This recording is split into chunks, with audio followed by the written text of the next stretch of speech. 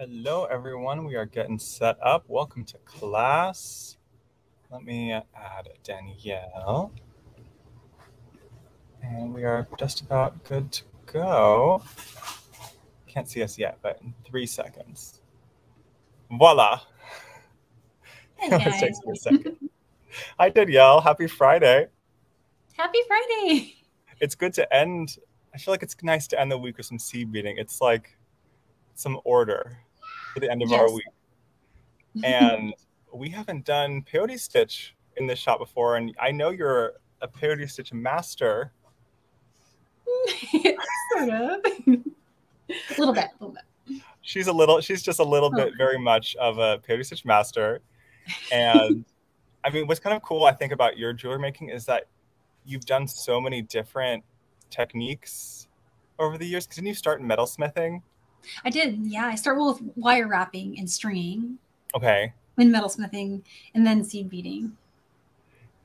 and which is amazing because i think you do still kind of fuse all of those elements together even if subtly even I though try. many yeah. folks who know you now for seed beading i feel like we get to like today we get to do some you're doing more wire work than typically i feel like we get to do with you which is Yeah. fun um, and i love when techniques collide so today like our main technique we're focusing on is like the beautiful seed beaded tubes but then you came up with this whole lovely wirework gorgeousness to go with it Aw, so thanks. i'm excited um, but before we jump in how are you doing today I'm doing okay. The, the kids are feeling better, so it's a little bit quieter, but they're um they're feeling better, but didn't go to school, so they're fighting. They're, So- oh yeah Ignore any screams you may hear in the background. Everything is okay. It's just you know, it's just real life. it is. So I hope everyone's doing well. Thank you for joining us today for class. And if you have one of the lantern kits, today's the day where we're kind of jumping into those. So we released two kits that let me add Danielle's overhead. oh, good. We okay. added these are the two kits we came up with, and I cannot believe how beautiful they are. Do you want to tell us a little bit about them? Yeah, yeah, sure.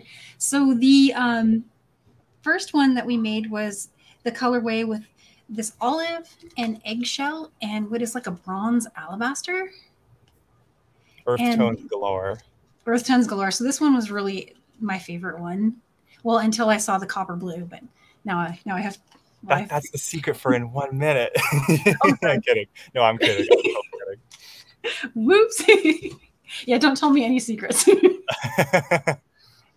yeah, this one. Um, well, what I, the reason I was excited about the the colors for for both kits is they have a brand new color in them that just came out. So I didn't know that. Yeah, yeah. These are the new Miyuki Milkies. There's a whole line of them, but they're like, um, so for starters, they have like a luster, like a little glow to them that is new to me. I hadn't seen before. And then they have, they're the first I've seen that have a milky finish. Like they're opaque, but they're super cool. There's like, to me, look kind of like you stirred some cream in your coffee. Yeah, I was telling on the live show last night how much I have been drawn towards like opalescent glass, where it's just like semi-transparent. Yes. hmm And no wonder I was so drawn to the mixes you came up with for the, for these kits. That's such a fun little bonus. I didn't even know that our kits were debuting new new Miyuki colors. Yeah, no, they're um they're pr- I think they're the most recent one until the until the Czech coded ones. They're the most recent ones that we got. So it's Nice. yeah, super cool. so, So in each kit, we gave I think uh, eight mixed grams, and each one had three different colors. Mhm. So you should have folks should have more than enough than just for one necklace. That's actually why we gave four joy caps per kit. So you can make this necklace today, and then you could decide if you want to make another necklace, or you could make like a matching bracelet. Um, so you pretty you're gonna get be able to get a lot, I think, of distance out of a lot of mileage out of this kit. I think. oh yeah, lots of extra seed beads. I had something I was working on with the rest of the colors um, for the colorway one that was like a peyote bracelet, and you'll know how to do that after today. Sweet. Oh my gosh. Yeah. So today's class, basically, we're going to go through the tube, and then we're going to work up some of the necklace. The main focus, though, of the technique today, I think, is it's going to be the tube, because that's like the newest thing here. Um, and then Danielle's kind of constructed the two necklaces, each one a little differently, to show some ideas of how you could put your necklace together. That's where we like think have you can have the most freedom is exact exactly how you want your piece to come together with your pendant bead. Yeah, exactly. Yeah, the the pendant part is the unique part that I think maybe new to a lot of folks, and then the rest of it is just wire. It's a um, basic techniques with some wire. Um, I think the most complicated thing I did was I made my own little connector and clasp up here, so which um, I did bring my block up if we want to play with that. But it was a simple little design. I think um, I think I actually I learned how to do this from Sarah from watching one of Sarah's lives, and then this one I was making a little like hook clasp, and I came up with it just kind of.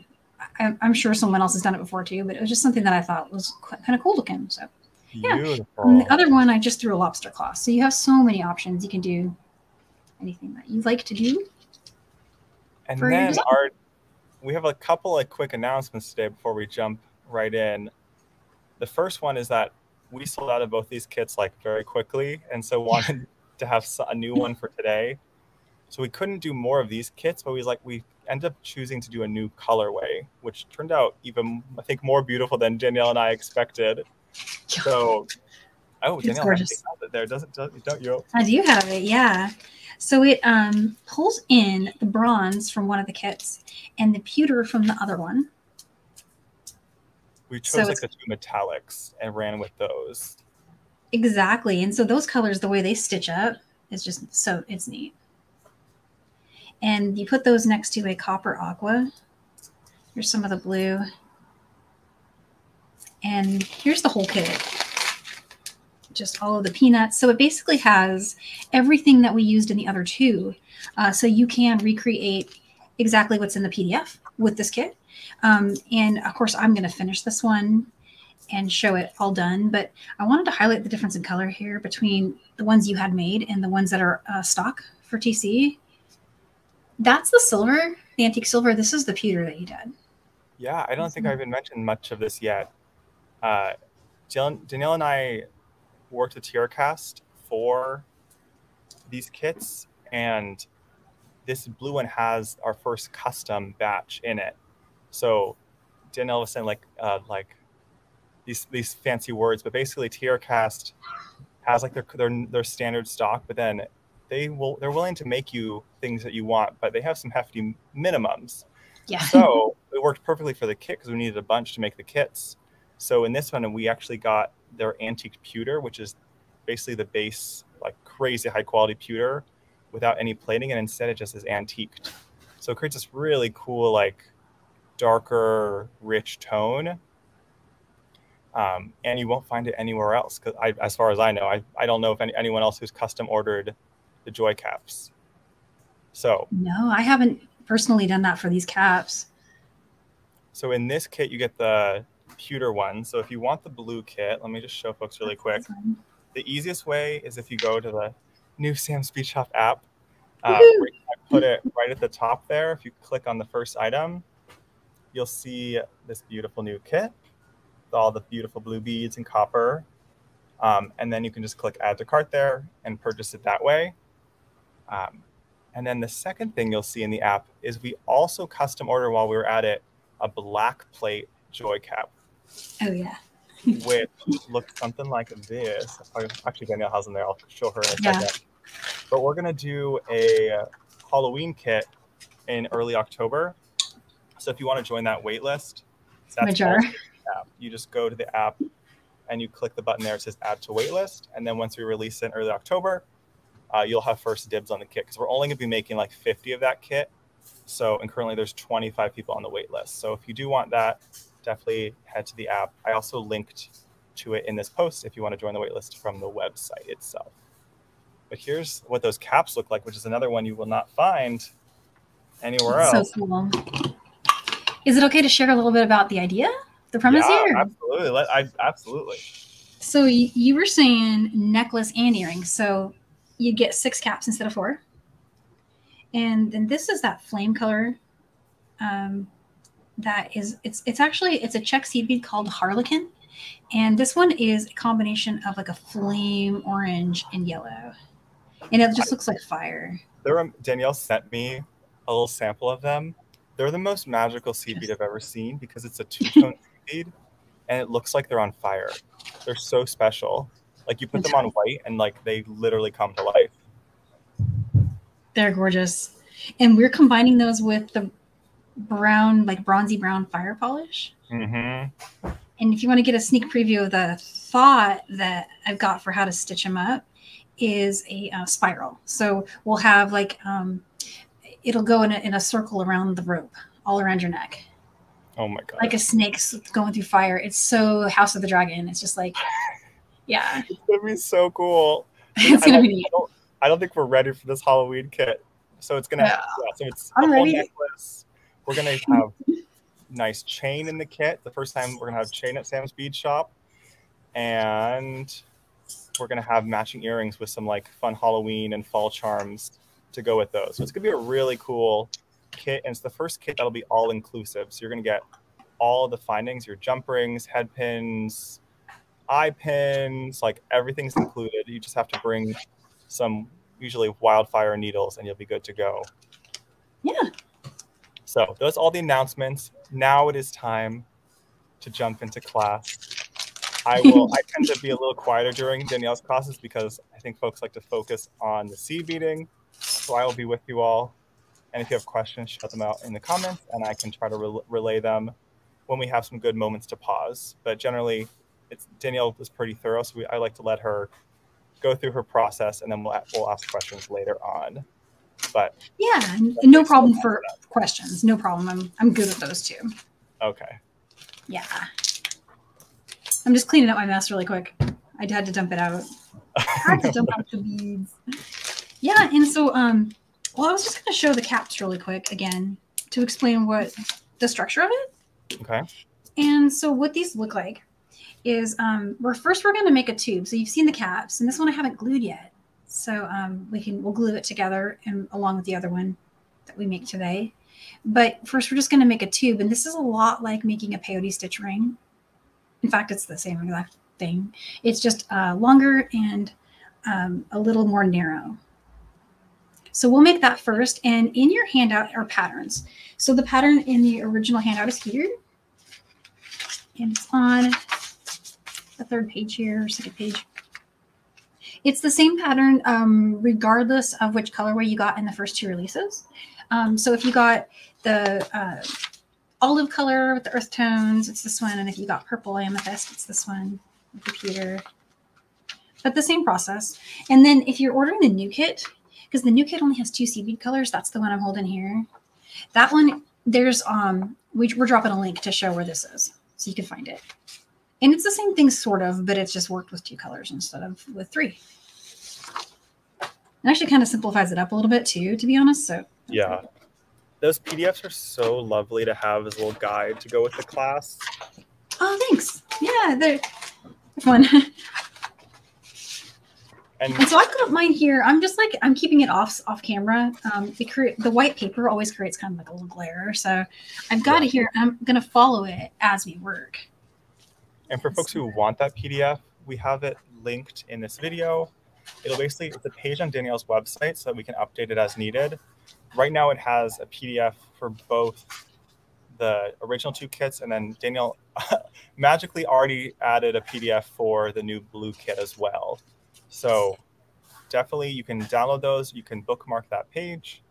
Um, so you always have a reference point. And of course, this class is saved to our YouTube channel, so you can you'll have both forever. as long as Forever. as far as I know, you'll have it forever.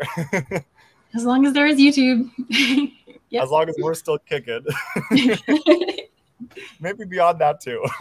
Probably beyond that. Yeah. Aliens come to Earth, they're like, wow, they love seed beads. they really love seed beads, especially the one in Seattle. That lady had a lot of them. what's this what's this wall? What's this it's the seed bead singularity here. it's so wild. So I was just gonna just double check with you again. I can't remember which color we said we wanted to do for the demo. Which one do you feel is gonna show up nicer? Oh gosh, you always make me have the, the hard decisions. Well, I can give you a hint. I feel like pewter's gonna be hard to see. Okay, then you you, you know think? you've taught a few of these classes before, so I'm gonna leave it uh, leave it to you. I'm feeling like this one's going to be the easiest for people to like track, right? When we start Yeah, going. but they definitely are three very different colors. That's probably Yeah. smart. So let's do that. And I'll work with our so the kits came with this beautiful bronze. It is gorgeous. That's I think it's actually my favorite one. And It matches the tones really nicely. It's so warm. does. It pulls them out. Very cool. And so in this handout, what you'll see is um, the colors are lined up as ABC. And so you'll want to, first thing I always do is I lay them out that way because that's how I can keep track of what I'm doing. And it also enables me to use the same pattern with different colors that I want to use that maybe weren't in the original. So if you have any of your 8C beads at home you want to try, this is how to use them. So just start with A, and then in, I'm working with this one, so I'm going to go to this one from B.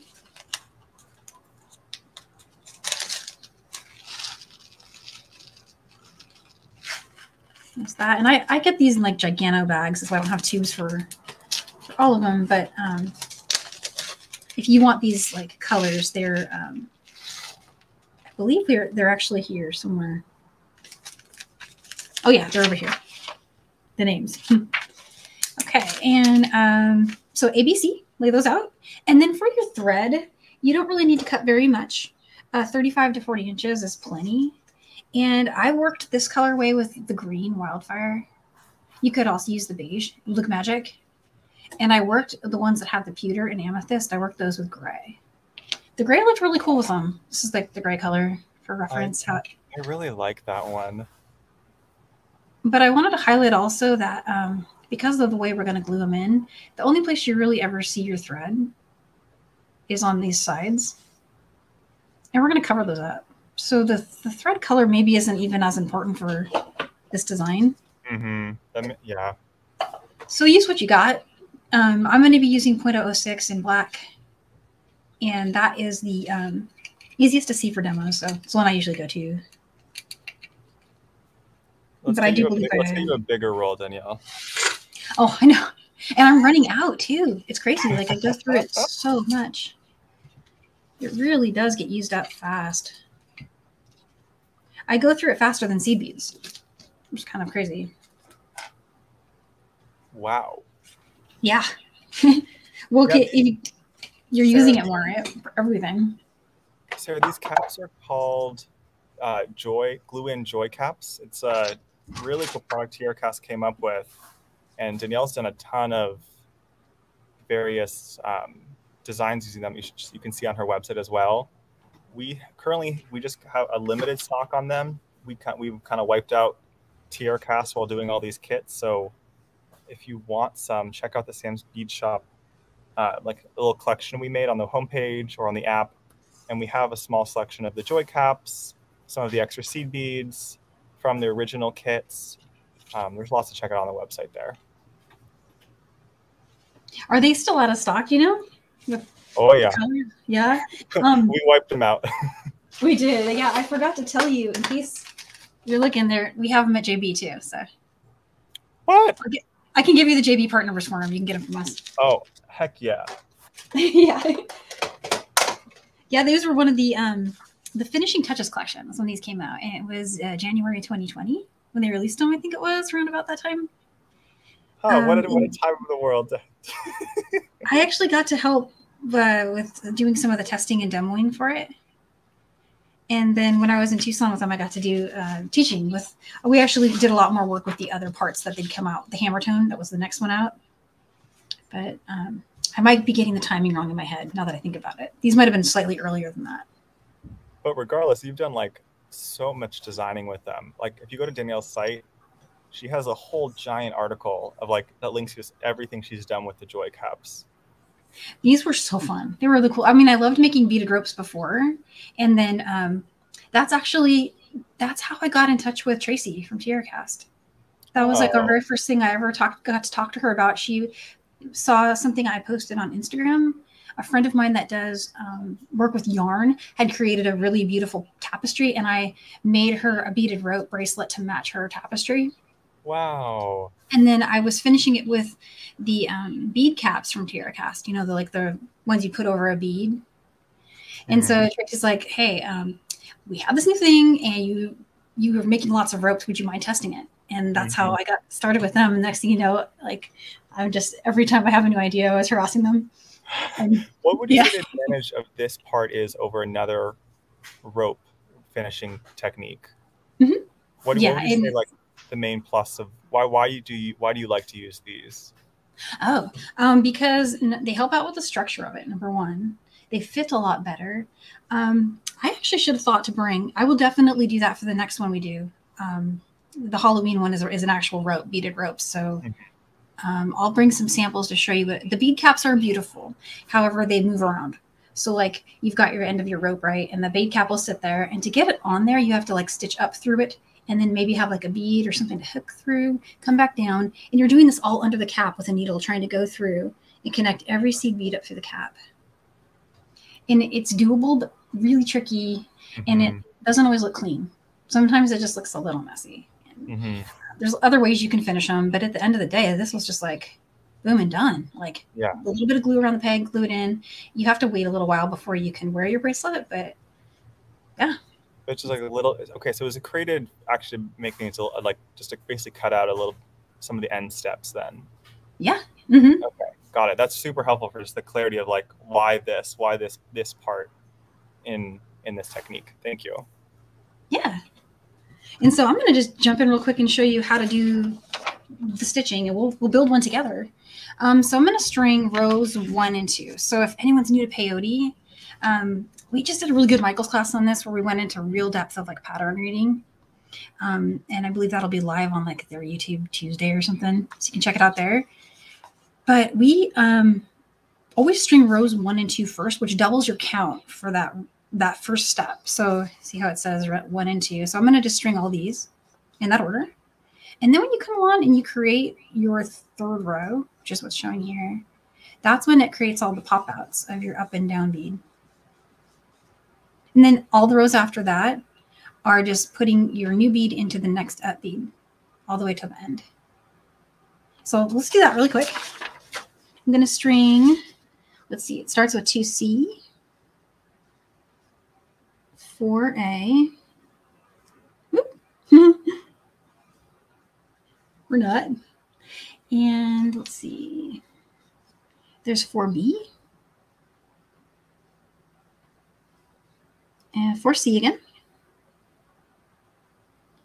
And last but not least, we need 2A. And then you'll know you've got it right when you look at it and you see what looks kind of like a pattern. You should have these four in the center, and then these two on the outside, and two on the edge. So three sets of four in the center and two on the edge. And once you've got that, leave just a little bit of a tail. It doesn't have to be too crazy. All we're going to do with this tail is weave it back in a few places. And the bonus is because we're gluing, your edges are going to be like locked up on themselves, like, right? See? So uh, weaving in, I think you can be a little lazy about it if you want to, because the glue is going to secure all that and then just cover it up. So we'll show all of that, but now I'm going to go over and start adding in row three. So I need to start with an A. And you'll always want to skip your first bead and go through your next bead. There's the next one here. And just pull through. When you do that, you'll get this little pop right there. You see how this one's sitting kind of side parallel to the one above it? That's what you want it to look like. Don't fret too much if it doesn't exactly look like that when you first start, because there's lots of opportunity from here on out to tighten and fix. So um, in my pattern, I've got another A coming next, so A bead. I want to skip the next bead in the row and then come up through the bead that's after that. Again, I'm just going to pull that tight. And our next bead is a C. So I'm picking up one C bead, skip the next, go through the one after that. And so each time I'm doing this, oh, go ahead. Do you have any ability to zoom in just a little bit for us? Oh, yeah. Let's make it lower. It might get a little bit a smidge darker when I lower it, Okay. but it's still, is that okay? Yeah. Now we can really see those seed beads. Yeah, I forgot I did that earlier. It does help a lot, huh? I feel like we're with you now. yeah. And so, so far what we've strung for row three, we've just strung 2A and there's one C. We need another C and I'm getting this all off that pattern that I showed earlier. Sitting, sitting right next to me off camera here. There's that next one. Now I need to, to go B and B. So here's one B, skip a bead. And then you want to go through the next one.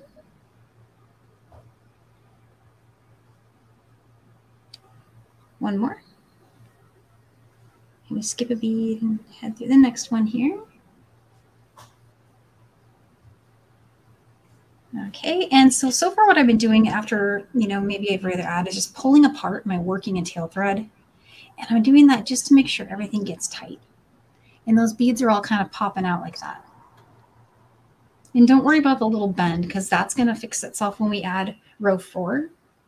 But so far we're just finishing up row three. We added two of the B beads. And now that's all that's left is to put two more A. So, and you're adding the beads one at a time. So skipping the next bead and going through the one after that. Pulling apart, working a tail thread to get that to tighten. And here's the last one. Okay. For the next row, would you be willing to kind of, for someone who hasn't done peyote stitch, would you be willing to kind of take us through what you're reading on the PDF and yeah. then how that translates to which bead you're then going through on the on the stitch? Yeah, and so what you'll want to look at first, um, when you get these patterns, they'll typically have a pattern chart that looks like this one. And um, I identified the starting bead here by the arrow. So you know which one is your first bead in the row. So that um, that's very helpful. So you see how there's like 2C here. So we strung 2C, 2A, 2A, 2B. That was what we did for rows one and two. And then we just now just turned and we added an A, went through the A, added an A, went through the C. And so we kept doing that all the way till we got to here. So where we are now is we're exiting from that C, having completed all those beads. And we finished that row. It kind of goes up and then you work your way back down with the next row. With, with yeah, yeah, like we string it. And then after we string it, we come down and we just adding a bead, skipping a bead, and going through the next one. And the only part of this that's even like remotely tricky is the part I'm about to show, which is making sure none of your beads flip. Sometimes you add your C bead and maybe it puts itself over here. It's only a problem in this one step in this first row. And after you get these rows one, two, and three done and your row four is on, they're locking it in. Everything after that so much easier. Okay. This is the part where you want to pay attention only because we do have a solid pattern going. Like, you know, where their beads, are, it matters which side those beads ended up on. But the good news is there's a really easy way to error check it right here. Um, so you get your pattern, and this is where the picture chart comes in real handy. And you want to lay your work next to it. So I'm doing that here, and it's you know it's a little bent, but don't sweat that it's bent because it's going to get fixed when we when we go back through. But I'm going to figure out first which is which. So this side is this side. Here's our 2C, 2C. I should have an A, an A, a B, and a B. I should have a C, a C, and I should have an A. If that's wrong, if these numbers over here, you want to pay attention to this side and compare it to these edge pop-up beads here. If any of that's wrong, what's probably happened is your work is flipped, meaning maybe it did this while you were stitching and now you don't have the counts right. So hopefully that makes sense. And the way to fix it, if it's not right, is just come along and look at it and just bend it back to, you may have to do some flipping around, but just making sure that your edge beads here all match. Super helpful. Thank you, Danielle. And hopefully that helps someone. And, and also another trick that I was sharing with my last class was that um, if getting this part to work out at the very beginning of a pattern is stressful in any way, sometimes I'll just take one solid color and I'll build rows one through four in that solid color. And then I'll start the oh. pattern. And then pull those four rows out at the end. Oh my gosh. So that can help you. There's also some other tools out there like the um there's a peyote start tool. Some people like to use that. I actually am um, used to use it a lot and don't use it anymore because of this method where I can pull um, is quicker than trying to find where I put that tool. it's somewhere here. I don't know. But that can help lots of folks. I think it's from Deborah Moffat. If you Google Deborah Moffat, it'll come up. Cool. Um, yeah, so that's rows one, one through three. And so now we just got to throw on row four. And row four, so we're exiting from our C down here at the bottom. That's this one. And we're going to add the A next. And it's going to pop up and go right through the up bead, which is that A bead right there. So here's our A bead going through. And then we'll just follow the pattern along, reading what it says here in row four. And if you're working with the other colorway, this is the exact same. It's the exact same um, counts. So just your A bead will be a different color than, than the A bead I've got here.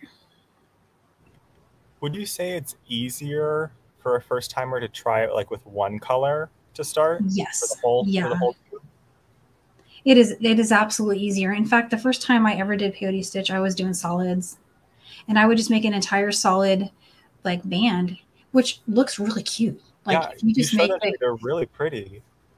Yeah, and they're fun, and you can put a charm at the end, and then there you go. And color blocking is so in style right now. It came back. I feel like it. it I feel really like came. you brought it back. single-handedly. well, I'd like to think I did, but I feel like it's just the trend is real. I just people are really loving on it right now. We've got lots so, of questions on the PDF. So, folks, the PDF is totally free on Danielle's site. I have a link to it. I think it's the first or second link in this post. Uh, bookmark that page. It has uh, two PDFs available on that page on Danielle's site. Yeah, I think so. Yeah, you don't you don't have to purchase the kit to, to see the PDF, so you can you can still check that out. And I've got a bunch of other beaded rope cap patterns on there too. Like a lot. It's kind of amazing. So you can make more of these and get the get the caps from Sam, and then you can go and just start making all kinds of. And there's um, different ways you can use these caps, like as ropes and things. So, so many things you can do. And I think I've done uh, something a little funny. I was supposed to put 2B. We did 2A and 2B. I must have only put one. Or I spun it. Ooh, our first control Z. I know, right? Well, I get all chatty and then I maybe didn't quite do something right here. All right, let's see what I did. I did definitely go through the wrong side. I think it's helpful to see that though, because you folks saw that she just went exactly back from when she came to undo those couple. Yeah. It may be that I have to go all the way back because I think what I did is I flipped my work when I was demoing what can go wrong. So now I'm gonna I'm gonna error check it one more time, make sure I didn't totally mess it up. So let's see what I did. So this is my outside. So I definitely want to be stitching on the side that's going over here. So C is my C, my A, B, and C. So I want to go into that bead. And what I did before was I went into this side. So here's my first A. If it can help, you can actually just work it on top of the pattern. But I know for sure I want to go this way. The only tricky part for me is I like to hold it and I like to work my peyote stitch downward because it helps me with my tension. So that's one way. You can kind of lose your orientation easily if you're like me and you have to pick it up. Oh, so there's 2A. And now we need our 2B. And then also notice how like just immediately it didn't look right to me and I spotted that so quick. That's the chart. The chart can help you get the visual for that and you'll be able to fix it in, time. You, what you're going for is you want it to look stripey down like that. And so you can kind of even predict your pattern a little bit in that way. anyone else like totally excited by this? Because I'm folks know that I'm not. I'm still do not feel like a seed beader. It's going to take me many years, but like Danielle makes always feel very clear and doable. Even though I know it'll be hard for me the first time, but like you always make it feel very like that it's not it's not unsurmountable. Oh, I think you'll you'll get it the first try. I mean, you got the other ones that we did. You're just you had them in like the first hour. With you did some- to some- Believe first. Some sentence enhancers, but Oh, well, see, but nobody heard those, so it's okay. and even if they did, they'd still be like, "Yeah, we agree." I know, but I, I set aside like one of each of these kits for myself because I really wanted to try out this. Oh, you did? Because I've never done peyote. I've mostly done brick stitch and like right Oh. angle weave. I've never done peyote. Oh, I see. Yeah, no, you'll get it. You'll get it. It's the only part that's really annoying is the tension and then that first row. So if you just work a few solid ones first, then you'll get it. I'm gonna definitely do that then. Yeah. And so I finished row four. Row four is all done. And so now I'm just going to start working row five, and we'll just we'll stitch to the end. Um, but row five is going to be um, much easier because now we can see where we are. We can use our tail as a reference. We know that this side is the not the side we're building into, and this is the side we're building into. And all we have to do is follow our, our word chart, and we got it. And oh, I forgot to say how many. How do I know what row I'm on? Because eventually you might lose your spot. Um, in addition to using like a, a post-it to guide you on the on the pattern, you can count. So I've got one, two, three, four, and this piece is so small; it's only got twelve rows. So you'll be able to just do a little quick count and get there, even if you have to set it down and come back. So row four is done. We know that because we counted one, two, three, four, and now we're starting row five. So just heading over here to my word chart, looking at row five. And I want to start with a B and then go to 2A. So here's my B. And we'll come up here. And let's do 2A. And so these are the up beads. Now it's so much easier to see what you're doing because you've got these very clear. Um, Jill Wiseman calls them the sticky uppy bead. She's so cute. She's so cool. yeah. Then here's the next one. So this is 2C, and I'm just reading that chart off offline here or off uh, off camera here. 2C.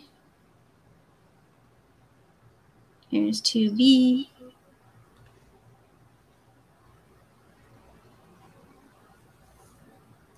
And then the last one I want to add is an A.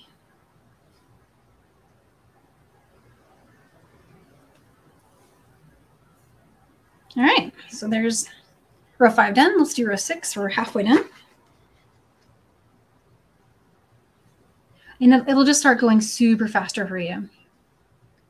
And you'll eventually be able to just do this while you're doing other stuff. Like you can be watching TV or chatting with friends, listening to a podcast. That's what I do. I put on podcasts or like just kind of interesting stuff on YouTube and then stitch away. Or a lot of times when I'm watching um, watching other lives, you know, I do the same. What's your favorite podcast right now? Uh, I have a lot of them that I'm listening to. Um, like, uh, let's see, one that I've like continually continue to listen to is the Lex Fridman podcast because it's just What is interesting. that about? Everything he interviews um, scientists, he interviews politicians, uh, me- medical professionals, just famous people. Um, and his perspectives on things are uplifting, which I really appreciate right now. You know, Yeah. Oh, fun! I was I'm always looking for new podcasts to check out. And he keeps everything so positive but then still real. And with giving you true information that like maybe you didn't know about he does he's really into ai he's really into like um like he did a whole thing on self-driving cars and oh just such cool stuff. I'm You i'm really tech background, don't you? what's that? Don't you secretly have a tech background that I learned at Beadfest? Well- i had an IT degree. That's what i did for life before this life Did folks know that? I was so amazed. it was I, I worked in like my job was supply chain and, and purchasing but it was um, for a tech company so i ended up doing a lot of things like writing a statement of work you have to understand a lot of their systems and how they work and i did database administration that's actually huge in supply chain tons of database stuff Oh my goodness. and let's see we're on row seven already how'd that happen i don't even know We get chatty and then you have a whole necklace. Uh, No, I'm on row six. So I've got 2C. There's my 2A. See, I wasn't even really looking at the word chart, but I can just tell because of the stripey, right? I know it's going to be an A. Or you can kind of just keep following it down. And then 1B. But then it switches on you in the middle because it, it changes direction. So I always get caught out by that. That's the cool thing about seed beading, though. It's super meditative. It can take you out of your mind for a little while and make you focus because you have to. It's not like, you know, demands like, hey, I got to do math kind of focus, but it's uh, um, enough that you just have to be sort of present. Hmm. You do a lot of yoga also, right? Yeah, I love yoga. It's it's really peaceful, and I found another studio. So during COVID, my studio closed, and I was really sad because I loved that place. That was my happy place. And then they, um, at first, they just went virtual, and then they just closed altogether. And Oh, yeah, but then I, through a friend of a friend who I used to actually do local teaching for, at a place called Workshop over here. hmm Workshop also didn't survive COVID, but um, the friendship did. And she referred me to the owner of a yoga studio who wanted someone to teach mala stringing. So in exchange for that, I get free sound bath and free classes and free TRX. They had me at free yoga. we'll teach free yoga. Why is Danielle the coolest person? It's like there's something too like about the kiddos that made the yoga like uh, go from being kind of neat to do and fun to necessary and required. For sanity, yeah, yeah. Yeah. I did a lot of yoga during like the first year of the pandemic. Me and me and my buddy Adriene Oh yeah. on on YouTube. Adriene on YouTube. Was that a like um is it a, a yoga class online? she she's just like the main. She's like the biggest YouTuber, yoga lady, yoga with Adriene, and she has like a lot of easy practices which I enjoy. Oh really? Oh, do Absolutely love her stuff. She does like these each January. She does a new thirty day challenge. So I was doing that. That is the coolest. Yeah, see that for uh, especially for you know jewelry designers, it's very good for your because you'll get locked shoulders after doing this for a while, and you really got to open up your shoulders and then all the sitting. You got to open up your hips. You got to do all that. for me it started to really help with my wrist strength because i've like for some reason my whole life i've had really weak wrists Like, Oh yeah. actually caused me a lot of pain Oh and- no. i like at first like i couldn't do much in yoga but as i did more of it i actually gained more strength in my wrists to be able to put weight on them and just helps me in general just doing computer work and all that too Oh yeah. it's just yeah it's so healing I That's like neat. that- I didn't know you were into that too. That's cool. Oh, absolutely. I like that it can be like taken at whatever level you want it to be. Like there's chair yoga. If you don't if you are a little less mobile, there's like adaptive versions. That is very cool. Yeah, and it's a great way to start too, because a lot of the poses you can't just get into those um, without injuring yourself right away. And you might not realize in the moment that you're getting injured either. Um, but like um, the studio that I used to go to, the one that closed, it was hot yoga, and um, that for some reason just makes it easier to not get injured. I feel like. Really? I can't, I can't stand it.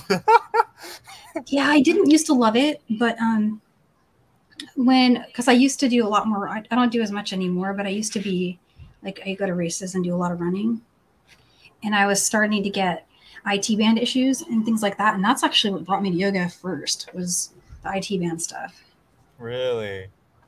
yeah and like you know as a runner your hamstrings are useless like they just they're, they're bad so you have to do something to like kind of make you make your more, you more balanced because you're like super unbalanced if you're just running and you're not doing it kind of CrossFit. And so that's why someone else that I used to run with was like, yeah, if you go to this hot yoga studio, it helps you. Cause like I couldn't even do any of the poses at first. And then after like three months in the hot studio, I could do it. Wow. It was pretty fun. Me and Heat's uh, not a great combo. But you live in. California, so I feel like you kind of like by default, you're just gonna get the heat whether you like it or not. oh, thank God I'm in the Bay Area because I'm. It's okay Mhm. here. Do you get at least a, does it cool off for you some days?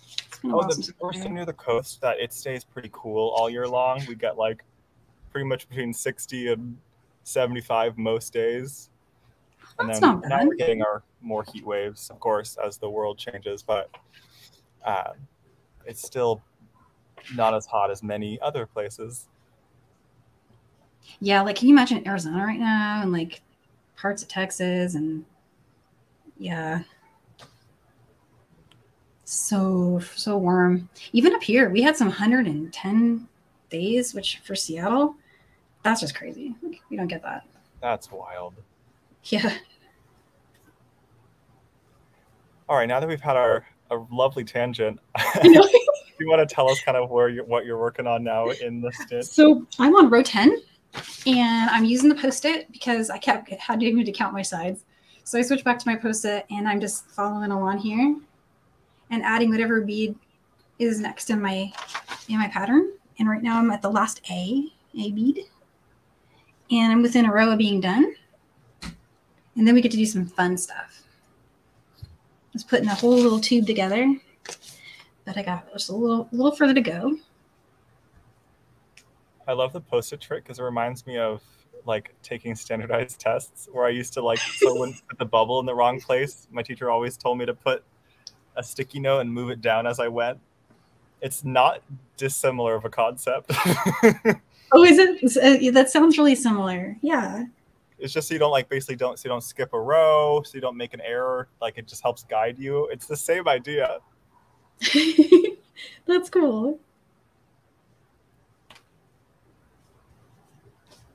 Yeah, it's um it's really handy and just like I'm scatterbrained lately. Like reason reason one thousand why yoga is needed for me is like my brain. I I set something down, I go do something else, and I come back. I'm like, what? What, what was that? I don't know. Is it possible? Like how easy is it is? Someone's asking about how to pause a project in the middle when you're doing this. Is it possible? Yes, absolutely. I have some tricks. Like, so what I do, like, if I got interrupted right now and had to go break up a fight, which is not out of the realm of possibility, um, I would set this down right here and I would go over here and just take a pencil and just mark. So I just did my 2A and now I need my 1C and I would just put a little dot right there. Little, sorry, I'm off camera. I would put a little dot right here, little pencil dot, and I'd go. And then later, when I come back, I know where I am. I get my handy dandy eraser, erase that pencil dot, and then keep going. And if it happens again, a new pencil dot. Yeah. Well, that makes a lot of sense. Especially when they get more elaborate. Like this pattern, you can figure it out just by looking at it, probably. But there are some when you really get into this that you'll want to mark, and they're epic. They're ones that are going to take you days anyway. Like some of these ones made of size 11 Delica, where they're like 14 rows and oh yeah, or 14 columns. Sorry. But they're um when you finish something like that, it is so satisfying. I don't know if Cindy is Cindy Knighton here tonight. Only Oh, yeah. Oh yeah, yeah. so she she makes epic guys. She makes epic peyote stitch cuffs. If you can check out her Insta, it's like wow. and so that patience, that being able to do that, and she's got puppies, so puppies and um, beautiful dogs that my sons need to hang out with. They will love they will love that so much. I'm I'm finding. I'm seeing if I can find her Insta. Oh yeah, she does some really inspiring stitching, Oh, beautiful things.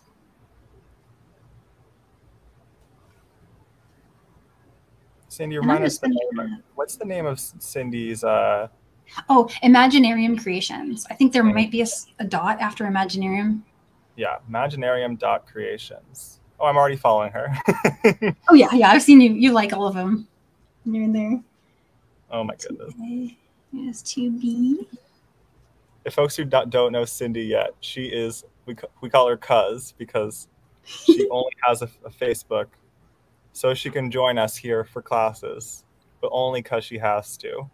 Hence her name. yep.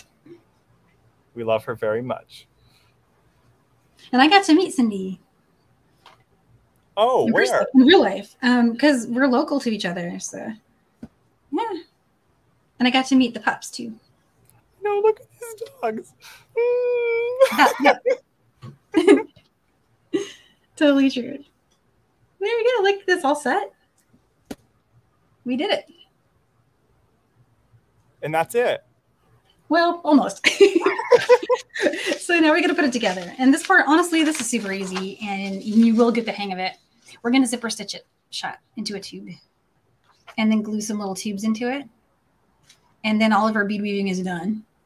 Nice. Um, but all you have to do is so we're going to take our working side, which is this side here, and we're going to bring it over into the tail side and then start stitching through the up beads. If that makes any sense. So um, here's what it looks like on, on a real piece. So here's our piece. And um, that image that I was just showing you guys, not only is it in the PDF, but it's a there's a gigantic one of it on my website in that same place where the PDF is. And you can drill to it and see it. If you've got a big monitor, you'll be able to see every little bead. Um, but we want to put this into a tube shape. So just fold it over like you're making a taco. Delicious. Yep. And now you're thinking about tacos. Always. and so from here, all you want to do is just, we're exiting from this bead, right? Come over here and go through the next one.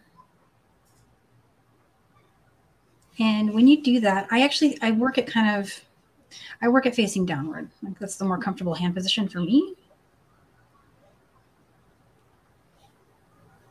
And so I'm trying to get that to focus properly for you guys. But so you see, we just connected this side to this side. And now my, my thread's exiting from this bead on this side, from this one.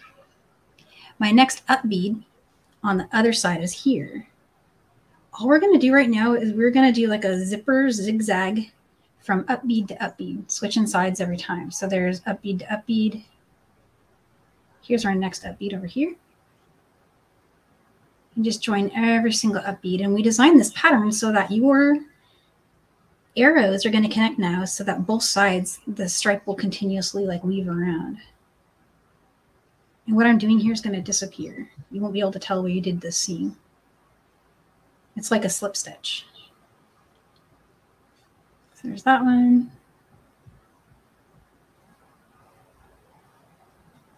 I felt like the light was better facing this way. It's a little awkward stitching position for me, but hopefully it's working out. Um, going up bead to the next one.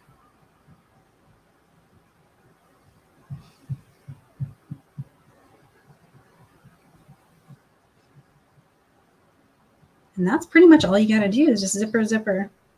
It's identical and, zipper. That's so cool. Yeah, and it's easy to see. Um, I don't know how easily it's coming across on a camera, but in person, it'll be very obvious to you what your up bead is. And all you have to do is just go up bead on one side, up bead on the other side, and then just keep going. Tighten up your other tail here. And now that little image I was showing you over here, you want to come up through the tail bead. So that's this over here. Just want to make sure you loop up and go through where your tail's coming out. And bonus points if you all your seed beads go flying with your pattern sliding it. I did that over here. They're they're like all over now. It's gonna be a bead mix. They're just mixed yeah. up again. They're just mixed up and ready to go again. Exactly, yeah. I always tighten, so I'll pull this is my tail here. This is my working side, and I'll just pull and tighten it. And there you go. The tube's done. All we've got to do is just get rid of our thread. And then, yeah, Cindy's got a good comment going there. So if you do this loosely, that's totally fine because at the end, you'll be able to tighten it all up, especially mm-hmm. when you get to the part where, um, where we're doing this, where we're pulling this direction, it really tightens it. And then opportunity to go back through it. So you've got to weave in anyway. And my kind of default way of doing that is I take my side that's already got its needle on it make sure you don't go through the loop and create a knot there. Um, and I'm just going to go through the beads following what you'll hear seed weavers call the existing thread path, which just means that um, you're going to copy what you did before. And so with peyote stitch, we're going to go through, for example, the bead I'm exiting here, it's like like in chess, your character can only move a certain direction, right? I can either go through this one, or I can go through this one, But what you wouldn't want to do is just jump straight up to this one because if you did that, your thread's going to show crossing those two beads right there.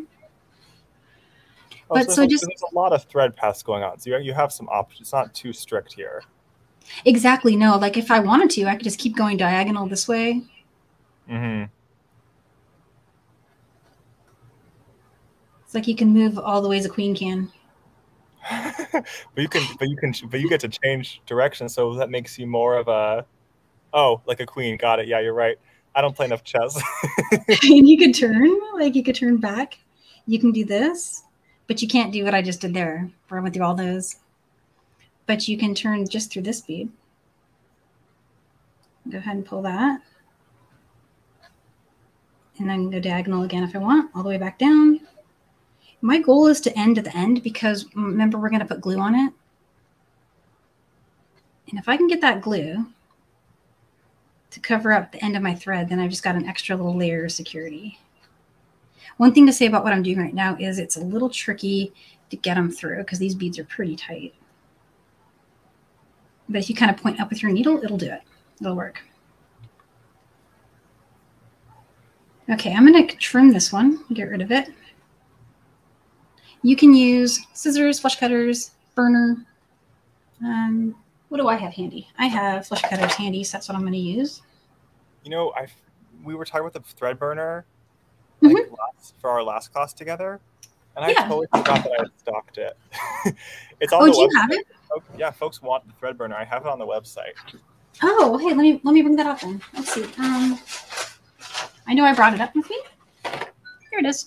Okay, so I've got the thread to. burner here, and I'll do that with this next one.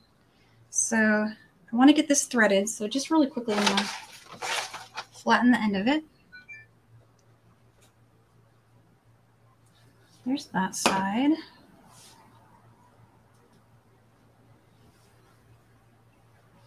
All right.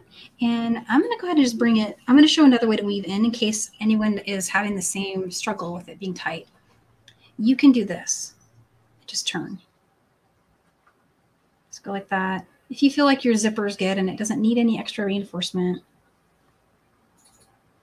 And then I'm going to burn it. And so normally what I just did there, that would not be enough weaving in, right? On a normal peyote stitch piece, you would definitely want to keep going and get more weaving and going, but we're going to cover all of that in glue and it's going to make it so much um, faster. So there you go. So glue, um, I use E6000. Um, a lot of folks will also use some of the, um, Aleene's makes some metal and jewelry glue. You'll see that at the craft stores and stuff. Oh yeah, yeah, Lori, I agree. It does. It's a battery guzzler. And I have several brands and they all guzzle battery. Every single one. And um, I open I'm gonna open a new one and show you guys a few things about E6000. It's it, the good news is it doesn't gush like hypo, right? But um, you do still want to be able to get the cap back on it kind of quick because it's very fumy. Make sure you have something open, like a window. When you first get your tube, it'll probably be sealed like that, and the cap has a little point in it and um, can puncture it. I used to use like the end of a Q-tip sometimes to do my rope caps. That's a great tip. I wish I remembered my own tip and brought a Q-tip up. But I'm just going to put a little glue on the side and just kind of whirl it around. Do you find the E6000 is a bit better hold for this sort of project than say like a hypo cement? Yeah, I do. I mean, you can probably get hypo to work. The thing is, you have to put a lot on. Okay. And then when you're putting this on, just decide what you'd like to be your loop. So your loop is going to face um, a certain direction and just choose a side that you like. What I did kind of by default with my loops is I wanted my loops to be facing kind of like above where my points were. And this glue is thick. So once that's another thing I like about E6 is because once you've got it kind of like placed in there, it doesn't wiggle too bad. Whereas other glues that are very thin and, and have less thickness to them, they um, when you get the the peg in there, it might move on you after you've placed it. But this tends to hold it like I can move it around, and that's really nice. No, it's in no way set and it's in no way secure, but it's at least going to hold its position. while nice. So I, I do like that, and that's great for ropes too. Handy tip for later. Um, so here's our other side. Also, if you do any label printing, like if you um, if you have Etsy shop or whatever, I I use the other side of my label print where I peeled off the label as a place to put my glue because then it peels off of it. I'm just getting this little glue end in there. There we go. Okay, and I'm going to line up my hoops. This is the only thing you want to focus on just a little bit is to kind of line them up. And you can see that easier at the side. If you kind of hold it to the side, you can, there we go. And all you need to do is let that dry for a little bit. Let me get my cap on this before it, it goes all crazy on me. Do you like the little tubes E6000 so you kind of use them up before it dries You up? know what? I really do. The thing that happens with E6000, I used to buy the really big ones. Yeah. And eventually, um, what happens is these caps won't come off anymore. And then you're sitting there like with your tools trying to get the caps off. And I, I can get it to for the for, for the amount that this will last me. That isn't going to be as severe, but like I had this really big one once where I had to throw half of it away because I couldn't get hmm it couldn't dispense anymore, and that felt really wasteful and kind of like environmentally unfriendly. So, Yeah, that makes a lot of sense. yeah. So that's that's it for the caps. So the rest of the PDF it focuses on, and you can just guide me, Sam, on like what you think, um, time wise and everything. If how much you'd like me to cover. I just went crazy with wire. I grabbed all the wire that um, I saw that you carried. Um, so things like our 22 gauges. Um, Mhm. Oh, so you went for the German style wire for this kit. Yes, yeah, I went with German style, and I used a combination of 22 and 20. Um, I don't think I used very much 24. Yeah, my 24 is still sealed, so I never even used my 24. So yeah, all you need is 22 and 20. I think I said that somewhere here. Yeah, given time, would you walk us through a little bit? Um, would you kind of Yeah. show us your final pieces? We kind of see your ideas of how you connected some of the beads together, and then maybe we can do a couple wraps. Like I love that wrap you did on the on the lacy coin there. Perfect. Yeah, let's do that. And so um, a lot of these techniques are going to be ones that you guys recognize because Sarah is um, the expert and she has shown in so many different demos. Like all of the stuff that I've done here is all stuff I probably learned from watching her. And the um, case in point being knotted headpin. So someone out there's probably saying, knotted headpin alert. Um, I got knotted head pins here, and that was what I did. I created a bunch of these, and the handout actually walks you through step by step how many to make and how to link them. So it says, "Hey, I made three knotted head pins. I put three peanuts on it, and then I put a seed bead on top of each one. And with this one, I actually did a different color on each drop. So I did the green, the beige, and the bronze. And so there's your three knotted head pins. I love the little peanuts stacked up. It's so sparkly. I love it too. It's really gorgeous. And that color in the new kit is going to be so stunning. hmm Those peanuts are, I was just going to look and see if they're the same because I couldn't tell for at first Oh, glance. did I use the same ones? That's possible. Is it possible they are? No, I I think think they're different. Oh no, no, you're right. I did champagne for that one, and I did crystal copper for the new one. Yeah, because the copper is just like glowing in this one. And this one looks like it goes so better with the, the either gold or bronze. It pulls out those colors. And I think if I work this one again, like I'm going to finish this one and I'm going to make it all over again. I have lots of beads left. And I'm going to do this next one in this color, which I think is like a, it's an antique brass. Ooh, I don't have Can that one yet. That's pretty. Oh, you don't have this one? Oh, sorry. No, you're good. I, I'm working on my new newest Beadalon order. Lori wants me to get square wire, and that looks like I have to get that one too. Oh yeah, no, I love bronze. It's really pretty. And so that's what I did there. Um, and then these are just regular loops. So like, this one has a seed bead, peanut seed bead, all the way up. And each one of these is a different length. This one has three, and it's topped with a little seed bead. You don't have to memorize any of this because in the handout, I um, I broke down the anatomy of every single strand that's hanging here. Um, so it's all there, but those are just regular wrap loop. Wrap loop. I brought them up through the bottom of this to, so that they would look like a little tassel. And then here's a jump ring to my lantern. And this was the one you wanted me to demo, right? Was it that Yeah, connection it seemed like you had a little fancy, fancy. Yeah, I love those sorts of wraps. Those are fun. Yeah. So we'll demo that. The rest of it's just easy stuff. Like I started to switch back and forth between 20 gauge and 22. Um, if I did a simple loop, which is what's here, I did 20 gauge. And if I did a wrapped loop, I went and used um, 22.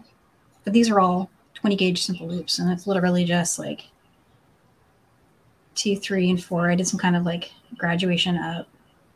By the way, these look like gemstones. I know they're glass, but they have like a incredible glow. They're like, Yeah, there's something really magic about this. Talking, talking to some. Who, oh, Neely said the same exact thing on Wednesday.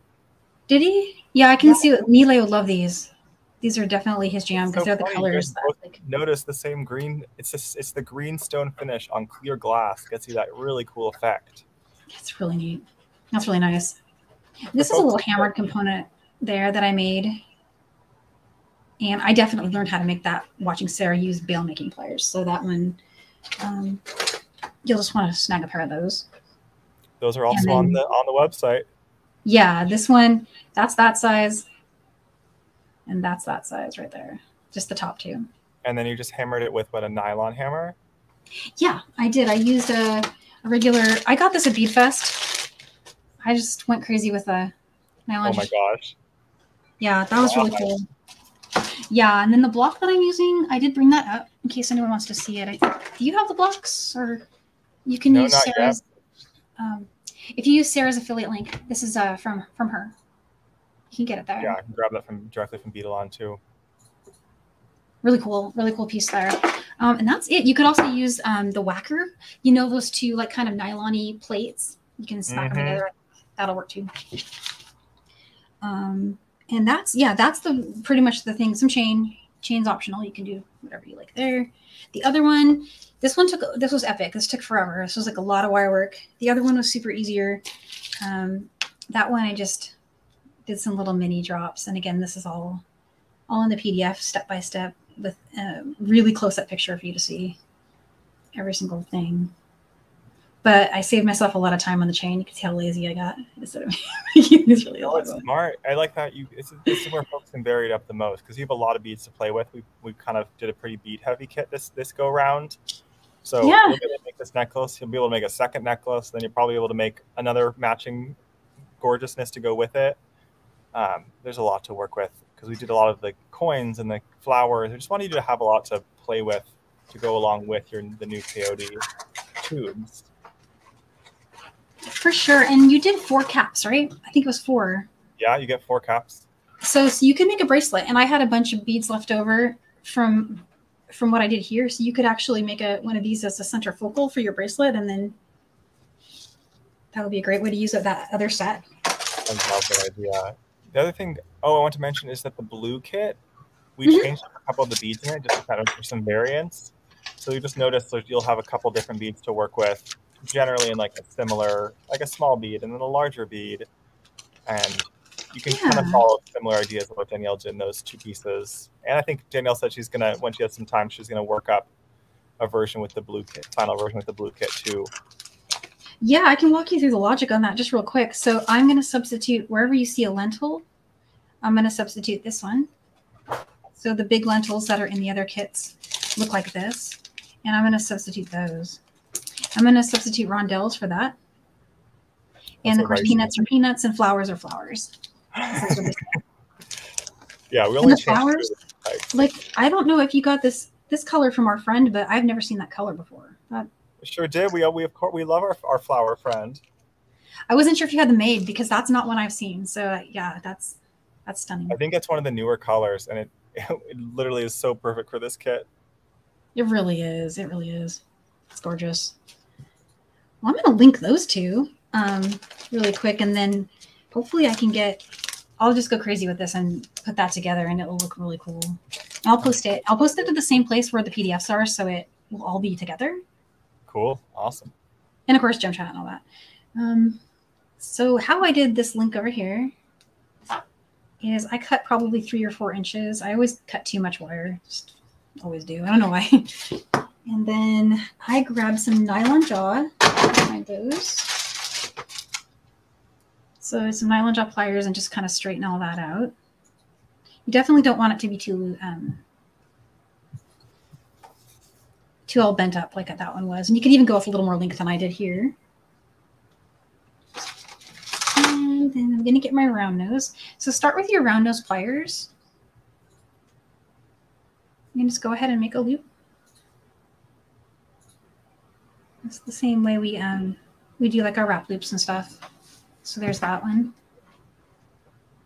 And let me get my chain nose. Those are over here. Kind of flat nosy, chain nosy. Yes. What are those pliers? Oh, these are John Bead ones. These are at Michael's now. I, it looked so different than I was used to on the. I guess it was Yeah. round on the tip there, wasn't it? Yeah, they're Japanese. They're like um, they're definitely thinner. Like the the round nose pliers make a really tiny little loop. So And, uh, helpful. Yeah, I took actually took me a little while to get my hands used to it. They remind me a lot of like the Xuron shape with like the pointier tips. Yes, yeah, they do. I feel like they do look a lot like Xuron. And they have um, different kinds of like pliers that are a little thicker than this too. But these were the ones I, I snagged because they were different than what I had.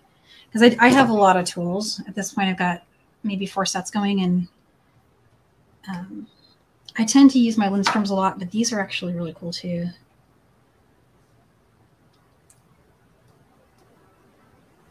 but yeah, I had to train my hands to um, to use these because it was tricky for me to change.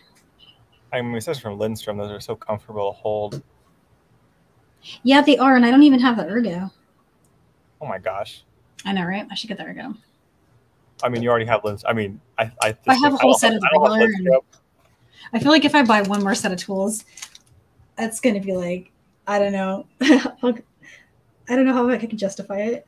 I didn't know you were a tool fiend. I'm all on everything bead, bead weaving jewelry, and then it's not even just jewelry making. I'm getting all crafts. All crafts are crazy here. So um, I'm just right now literally being a mega perfectionist with. I think I'm about to raise my camera because uh, I keep going off camera because I'm working really tight under there.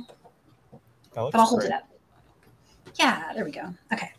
And so there's starting one, just regular old loop. You guys have seen those and made that. And I'm going to go ahead and start my top part of that loop. And so just bending it forward, up, around. I just kind of naturally move back on the pliers to make the loop a little bigger. Bringing these over to tighten it. And so from here, we're going to make that swirl. You want to go around once and then twice so that our fronts match. We have two nice little wraps here and two nice little wraps here. And then go ahead and go around the front of your bead.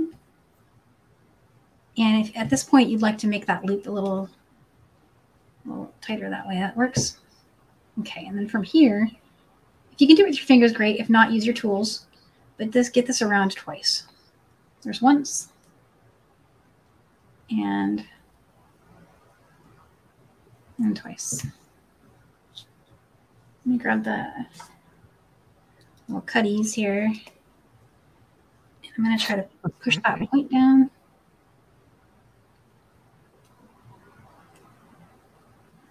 All right. So that's pretty much it for that pretty loop. And then you can either make that your front or your back. It doesn't matter. Um, the reason I did that was I thought it was going to spin around on me when it when it was in the lantern connection, but it didn't actually spin around. It actually looks really cool. I, I like on this one I didn't do that because the whole thing spins right. It's like a, hmm And you get a little bit of that light play. It works both ways really nicely. it does yeah. So there's that one without a loop, and here's That'll do it. This beautiful, gorgeous piece. this one with the loop. What I really like how you used one thing I wanted to mention is I really liked how you used the bellflowers kind of as to kind of break up the different elements of the necklace. So like ones that they're at the bottom to be the, the kind of the bead cap for the tassel. Yeah. Oh, and then the other one splits the strands really nicely. It's such a creative use of the bellflowers. Oh, thanks. Yeah, I have a really good time with this one. I don't often get to just sit and twist wire these days. And so I, I really liked doing those. So pretty. So the last kind of piece here is that we'll we'll show off the blue version pretty soon when Danielle Danielle does a lot of things, but somehow does it all. Um, but if you're curious, like kind of Danielle's idea for working up the blue version, we'll have that posted pretty soon. So just keep an eye out. As as of now, I checked the website. We have nine of the new blue kit left, which is crazy. So you can go to the website or the app. I do kind of recommend the app to folks because I currently have it set not to hide an item when it sells out, like the website. So if it does sell out, you can join the hmm. wait list, and then maybe someone forgets their cart and it becomes yours. So on the app, you'll see at the top the blue kit right there. Currently is still in stock. Pretty. Add to, add to cart. And then you can also that's also where you can join the wait list for the Halloween kit. That's we're going to be launching that. Well, we're doing a class for it two weeks from today on October 7th, and we'll be launching the kit around then. And then Rachel Mouse was asking like, are we selling the, the caps for for the tubes? And we have a limited stock on them. T- TierraCast we kind of wiped them out, so they didn't have a lot left. But currently, I see the oxidized brass ones and the gold ones are still available. And the other ones you can join the waitlist for, also on the app. And then lastly, you can find the two seed bead mixes from the two original kits. Neither say sold out on those yet either. And that's the first time we've had Miyuki in the shop, which is kind of fun. So that's the full update. If you're kind of looking for some of these items, you can of course always reach out to Sam's, reach out to us on the page or email us, and we'll get back to you on Monday when we're back. And I think that's it. Did you have, did you what do you have coming up, Danielle? Um, let's see. Um, this Tuesday uh, for Michaels, I'm doing an unboxing for the palettes that I got to help design at John Bead. Ooh, you're making like like tube palettes with them? Yeah, so um, we've been working on these for for a really long time, but um, for John Bead, I got to design seed bead palettes, and they are currently going into Michaels. Some Michaels have them already, and some don't, and they aren't quite online yet. But I was should gonna ask, are they exclusive to Michaels? Because I Oh, I'm very yeah, you know, uh, well, these ones are, yeah, Okay, but that doesn't mean you can't design your own too. I mean, you have an eye for color, so that's true. That's true.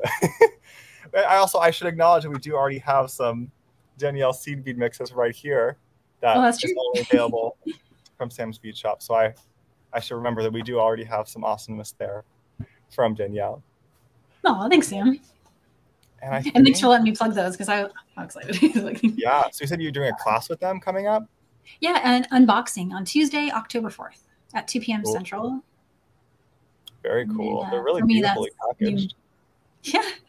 Yeah, I was excited That's about that. And, and then Wait, the rest of the things are just my usual. Your background's been updated. Yeah. All of my little tubes are gone. It's crazy, right? It's That's so been behind me for like two years, and I feel like, where'd they go? It looks like you're in a new world. yeah. I don't know if like so this camera setting is different than the zoom one from earlier, but you can actually see kind of like I put a bunch of the beads down here too, but they're not um, super visible. Like I kept Oh, some of the tubes. That, yeah, the ones that are my favorites. They're It's very pretty. I have to find some some hooks for for here. For your. So you found that like somebody just like gave that. To, they were gonna throw it away. yeah, someone was getting rid of it. There was a second one, but it was not in as good of condition. So I took one of them, and I, I was scrolling. I started scrolling for different clips that I could like, hopefully, kind Oh. of be able to start adding. I want. I would love to add like, be able to store things. So I might go to IKEA because they have like different pegboard type things, and I don't know. I'm very curious how what I could do with this shutter. Or even like in the kitchen tools section where they have those hooks for hanging the spoons. No, literally that. That's what I need.